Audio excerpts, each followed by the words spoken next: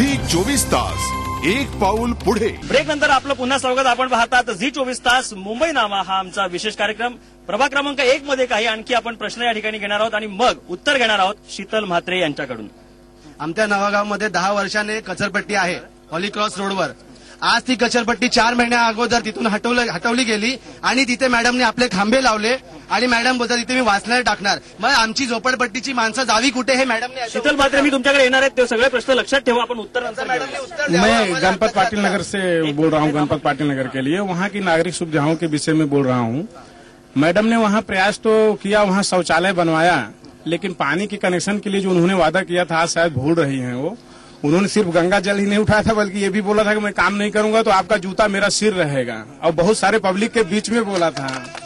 हे उत्तर उत्तर घेऊया शीतल हाँ हा फिलिप टावर जे प्रश्न उचलला सीवरेज लाइन का भरपूर वर्षापस वर्षापासून माझ्याकडे आले.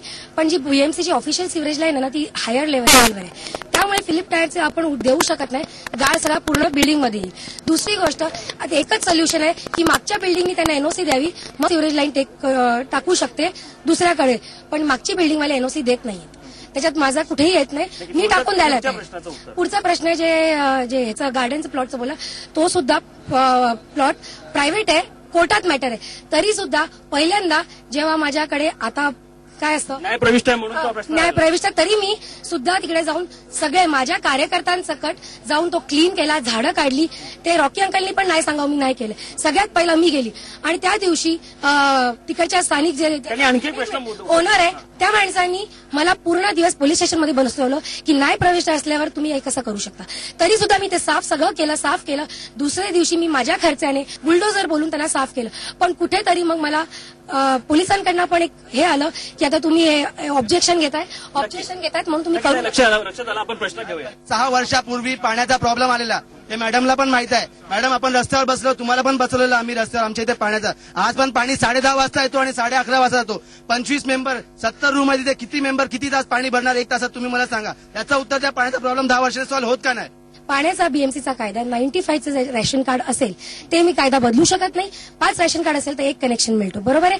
त्याच हिशोबाने जी आम्ही नवागावची गोष्ट आहे सगळ्यांना दिलेली आहे. पण काय आता गणपत पाटील नगरमध्येही तोच ते उत्तर आहे की पाच रेशन कार्ड असतील आणि आता मी पाच पाच रेशन कार्ड नाईन्टी फायचे म्हणजे अधिकृत लोक, सरकारप्रमाणे अधिकृत लोकांना आता गेल्या ती दोन महिन्या आधी पाण्याची लाईन आपण दिलेली.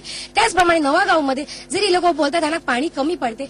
आज बीएमसीचं जे ऑफिशियल आहे, पाच कनेक्शनला एक लाईन देतो, तेवढ्या ती पुरते. पण पाणी विकलं पाणी विकलं जाते. यहाँ की शीतल मात्रे नगर सेवका है, और अभी जो है अभिषेक जी आए हुए हैं। अभिषेक जी जो है बोल रहे हैं कि पानी का समस्या जो है मैं दूर कर दिया हूँ। ठीक है उन्होंने टाकी लगवाया है लेकिन टाकी का हर केन के पीछे पाच रुपया जो है लिया जा रहा है। ठीक आहे आता वेळेचं देखील आपल्याकडे बंधन आहे. मला आता शेवटच्या सगळ्या समस्या आपण यापुढे मा- समोर मांडलेल्या आहेत. पण महत्वाचं आहे केवळ समस्या तर उपस्थित करायच्या आहेत. का झालं रे हे देखील विचारायचं आहे. मात्र काय आहे यांची भूमिका? काय का नेमकं हे झालं नाही आणि काय करायला हवं होतं? काय यांचे विकासाचे मुद्दे आहेत? या दोघांनाही विचारूया. सगळ्यात पहिला तर मी जे मुद्दे ऐकलेत त्यात एकही असा मुद्दा नाही कोणी सांगावं की हा रस्ता तू करू शकत होती आणि तू केला नाहीस. मी सगळे रस्ते आयसी कॉलनी असो की वॉर्ड नंबर एकचे असो नुसतं दोन रस्ते बाकी आहेत जिकडे आता सिव्हर लाईन चालवली आहे. तुम्ही एक एक घरात जाऊन विचारावं की मी काम नाही केलेलं. आता नवागावची जी गोष्ट करतात दहा लाखाची सिव्हर नवागावमध्ये दरवर्षी पाणी भरते. गेल्या वर्षी पूर्ण नवागावच्या अक्रॉसमध्ये मी स्टॉम वॉटर ड्रेन ड्रेन बनवली आणि यावर्षी दुसऱ्या बाजूला ती बनवलेली आहे. जेणेकरून नवागावमध्ये अजिबात पाणी भरणार नाही. त्याचप्रमाणे त्याचप्रमाणे आयसी कॉलनीमध्ये सगळ्या आयसी रोड नंबर दोन तीन याच्यावर पाणी भरायचं.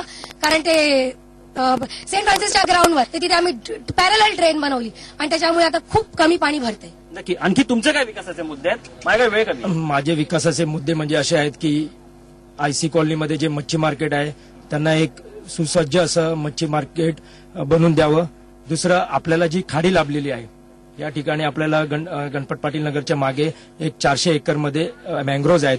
तिथे एक चांगल्या पद्धतीने आम्ही एक झेन गार्डन बनवलेलं आहे. त्या झेन गार्डनच्या बाजूला महानगरपालिकेच्या माध्यमातून एक जागा आम्ही हे केलेली आहे एक्वायर केलेली आहे. तिथे आम्ही एक सुंदर असं एक्वेरियम जेणेकरून या इकडच्या लोकांना जे या खाडीचं महत्त्व काय आहे हे समजवण्यासाठी एक अक्वेरियम बांधणार आहे.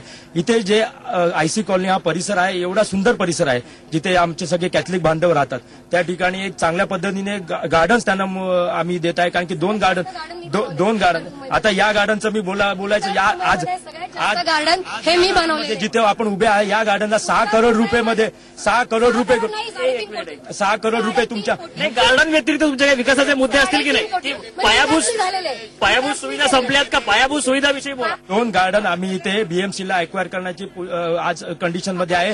आणि पन्नास पन्नास लाख रुपये बीएमसीने ऑलरेडी महाराष्ट्र शासनाकडे दिलेले आहेत. ते दोन गार्डन आम्ही आता लवकरात लवकर म्हणजे महाराष्ट्र शासनाने भरलेले आहेत पैसे. मुंबई महानगरपालिकेने महाराष्ट्र शासनाने पन्नास पन्नास नक्की नक्की.